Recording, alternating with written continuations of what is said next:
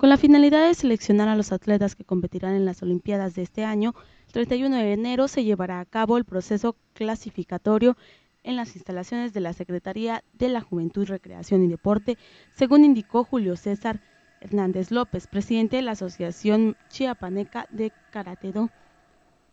También dio a conocer que el pesaje para esta competencia se realizará desde las 7 horas hasta las 8.30 para que a las 9 arranquen los enfrentamientos. El objetivo de este evento es sumar a los primeros lugares de esta categoría a los 15 atletas preseleccionados durante el año 2014 para conformar la selección Chiapas y prepararla para las Olimpiadas que se llevarán a cabo este año. En esta competencia participarán 150 atletas, de los cuales se seleccionarán 60 competidores que buscarán la Olimpiada del mes de marzo en Guadalajara, su lugar a nivel nacional. Julio César Hernández dio a conocer que los atletas que conforman el selectivo Chiapas competirán el próximo mes de marzo en el selectivo nacional de Guadalajara, que servirá para elegir a los mejores competidores para las Olimpiadas. Julio César Hernández dio a conocer que los atletas que conforman el selectivo Chiapas competirán el próximo mes de marzo en el Selectivo Nacional de Guadalajara, que servirá para elegir a los mejores competidores para las Olimpiadas. Destacó que los competidores la Liga Municipal de Softball de Tuxtla Gutiérrez convoca a clubes y equipos independientes a participar en el torneo oficial de softball 2015, que comenzará a mediados del mes de febrero. La directiva dio a conocer que este certamen se llevará a cabo en los campos de pelota del Centro Deportivo y Recreativo Cañahueca, desarrollándose en las categorías de segunda fuerza y libre en las ramas varonil y femenil, respectivamente. Los interesados en competir podrán inscribirse de acuerdo con lo estipulado en la convocatoria a partir de este día y hasta el 16 de febrero, poniendo a disposición las cédulas en las oficinas de la liga o en el número telefónico 61 13 099. Cada equipo deberá cubrir una cuota de inscripción de 1.100 pesos, además de 1.000 pesos para la fianza, así como 420 pesos por cada juego. La Liga de la Especialidad informó que el día 16 de febrero a las 20 horas sostendrá una junta en sus propias oficinas para ultimar detalles de la competencia. Por último, añadieron que el campeonato se regirá bajo el reglamento de competencia de la Liga Municipal de Softball y las reglas de juego de la Federación Mexicana de la Especialidad en ese orden.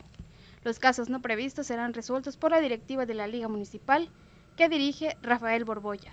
Para TVO Deportes de Cuarto Poder, Mari Carmen Vázquez. Las líderes del campeonato de softball femenil de la Liga Municipal de la Especialidad, legendarias, disputaron una fecha más ante la novena de Motorama LCH, a quienes dejaron rezagadas con una pizarra de 12 carreras a 2 en un juego celebrado en el nuevo campo de pelota del Parque Recreativo Cañahueca.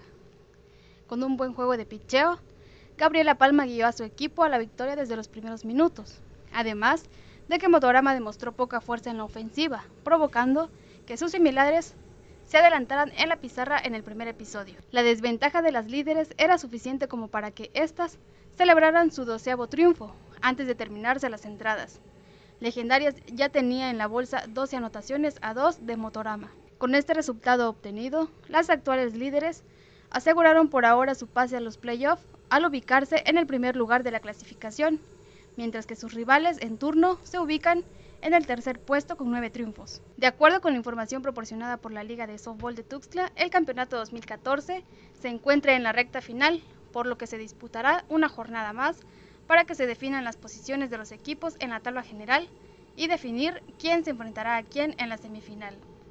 Para TVO Deportes de Cuarto Poder, Mari Carmen Vázquez. Después de un duro torneo en la categoría libre femenil, el próximo fin de semana se llevarán a cabo la final en el emparrillado del Samuel León Brindis. Chocarán el conjunto de Valquirias contra Dragones Negros de San Cristóbal de las Casas. Este duelo ya se ha convertido en un clásico debido a que ambas escuadras han demostrado en el emparrillado su conocimiento de este deporte. Valquirias, quienes han tenido buenas temporadas en diferentes categorías, se han colado a la final después de llegar de la ronda de comodines en tercer lugar. Por su parte, Dragones Negros han demostrado su experiencia en este otros torneos de en distintas categorías, porque como muchos indican, en Tocho a los dragones no hay quien les gane. En esta ocasión, las experimentadas jugadoras intentarán vencer al cuadro de Valquirias, que ya les ha dado batalla en categorías diferentes, pero Dragones no se ha rendido y ha demostrado que tiene cómo sacar un buen resultado. Contra todo pronóstico, las Valquirias se colocaron en la final después de vencer a las Águilas Reales y ahora se encuentran preparándose para el último duelo, para el último duelo para llevarse el campeonato. Por su parte, Dragones Negros espera coronarse de nuevo en esta categoría y demostrar que no existe aún equipo que lo vence. Cabe destacar que aún no se encuentra confirmada la fecha ni la hora en la que se llevará a cabo este duelo. Para TVO Deportes de Cuarto Poder, Georgina Gómez.